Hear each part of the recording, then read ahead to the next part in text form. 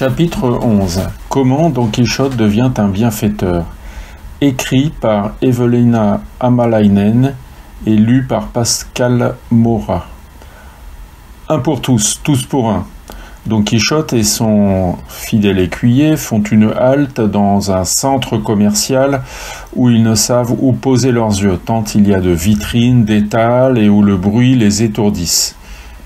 Il nous faut, chers compagnons de route, la drôle de machine que les habitants de ces contrées portent à leurs oreilles. En y réfléchissant bien, nous n'aurons plus alors besoin de faire des appels de phare ou des coups de klaxon, si ce n'est des coups de frein pour qu'on s'interpelle. Messire, c'est ce que je vous disais, pas plus tard qu'hier. Je n'ai rien entendu de tel, ou alors tu penses tout haut. Et il entre dans la première enseigne qu'il rencontre. Il s'agit d'une boutique vendant des articles de naissance. L'Hidalgo questionne l'employé qui les salue poliment au sujet de la machine qui parle. Tout à fait, monsieur, nous avons cet article, répond-elle en ouvrant une boîte contenant un babyphone baby. Celui-ci, vous le posez dans une, pièce et l'autre là où vous voulez entendre et parler.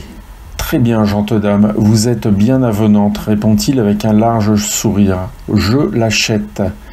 Et jetant les billets sur le comptoir, il quitte le magasin pour rejoindre Sancho, qui attendait dans la galerie, les yeux éberlués, devant des costumes de mariés Donia Panza serait bien jolie dans cette robe. Dommage qu'il n'y ait pas de robe colorée.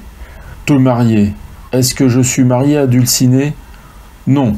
Vivons libres d'aimer et vivons alors heureux, sans attache maritale.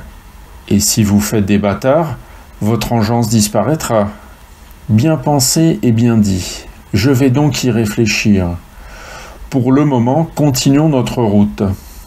Chaque babyphone est posé sur le tableau de bord de la Rossinante et du Rossio ou Grison. Ne pas confondre avec le petit gris, chère lectrice ou cher lecteur.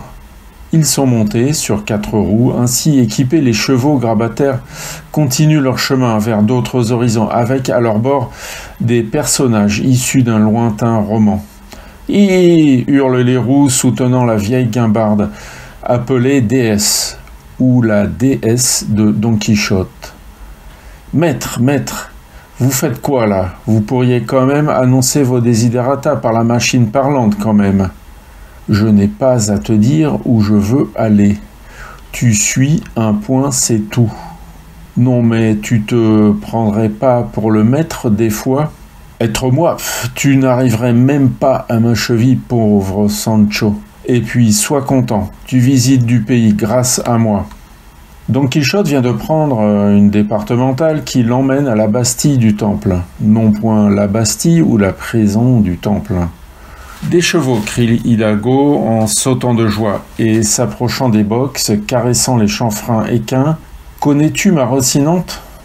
De quai? interpelle le maître des lieux.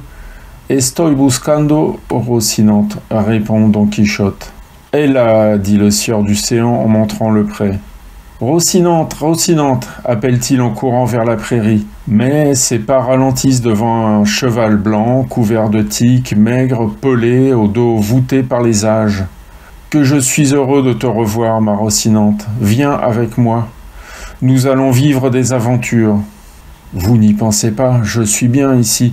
Je mange à ma faim et on me laisse tranquille. Tu veux pas trottiner un peu?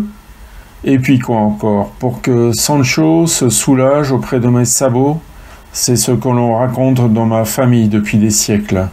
Nous avons une maison qui roule, tu pourras t'y installer, tu y seras bien.